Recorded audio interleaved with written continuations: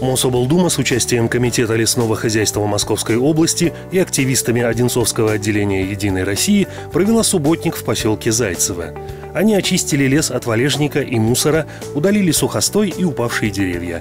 Акция проводится по всему Подмосковью и рассчитана на три года. Ее цель – поддержать лесные массивы региона в благоприятном состоянии. Мероприятие провели в рамках реализации регионального партийного проекта «Чистый лес».